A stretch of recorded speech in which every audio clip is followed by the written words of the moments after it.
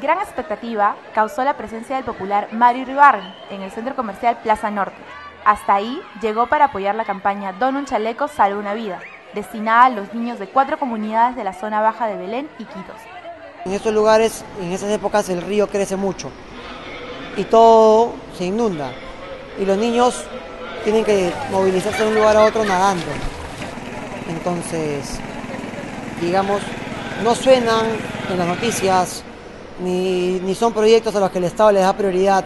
Yo nunca había escuchado, por ejemplo, de los niños de Belén y de la importancia de brindarle chalecos salvavidas para que no mueran más niños ahogados. Hay cosas como estas a las que no se les da, eh, digamos, el apoyo necesario.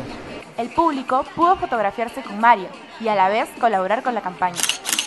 La labor que realizan estos jóvenes, porque ya son chicos jóvenes, es admirable que ellos mismos hayan tenido la iniciativa y como tú dices, de manera anónima y desinteresada, de organizarse y estar ellos pendientes y al tanto de lo más pequeñito de su, comunidad, de su comunidad.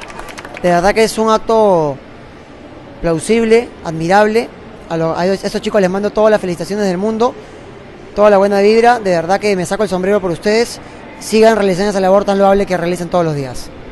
Esta es una iniciativa del Instituto de Formación para Adolescentes y Niños Trabajadores Infant con el apoyo del Centro Comercial Plaza Norte.